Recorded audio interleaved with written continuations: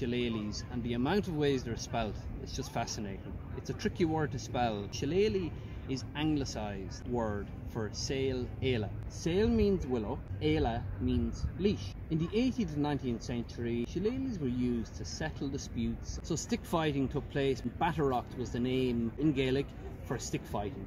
They were an effective fighting weapon back then because the little shillelagh here you have is a club head on it and a good swipe in the back of the head with that now would hurt you, wouldn't it? Would you like a smack of that?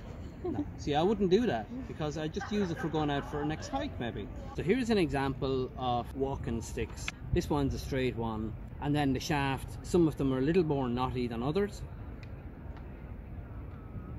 So it really depends what you get, and that's the beauty of it. They're all random You can bring them for a hike in the woods and you can batter them around and they'll still last for a long time. A lovely true piece of Ireland with a little copper finish at the end. That's typically what you would get with a shillelagh walking stick.